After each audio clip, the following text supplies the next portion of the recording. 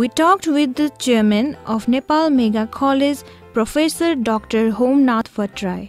Quality एजुकेसनको demand त्यसमा चाहिँ यसका फाउन्डर्सहरूले हामीले पनि केही कन्ट्रिब्युसन गरौँ भनेर खास गरेर यसका फाउन्डर्सहरू एजुकेसनमै लागेका टिचर्सहरू इन्टरप्रेनर्सहरू उद्योगपतिहरू पनि हुनुहुन्छ सबै मिलेर खोल्या हो चाहिँ जुन उद्देश्यले खोलेका थियौँ त्यो on the way of our objective steadily अगाडि बढिरहेको छ Nepal mega college We also took time to hear what the executive director, Mr. Gopal Khanal, mega कलेजमा विद्यार्थी किन आउनुपर्छ जस्तो लाग्छ मेगा कलेजले किन चुज गर्ने मेगा कलेज किन आउनुपर्छ भन्ने भन्दा नि मेगा कलेजबाट आएर उसले के पाउँछ भन्ने कुरा ठुलो हो। यहाँ आएको बच्चाहरूको विगतको इतिहास हेर्ने विगतको हिस्ट्री हेर्ने र यहाँ आएको कस्तो टिमले चलाएको छ कसरी सञ्चालन भएको छ यसको अवस्था के छ र यहाँका बच्चाहरू कहाँ पुगेका छन् त?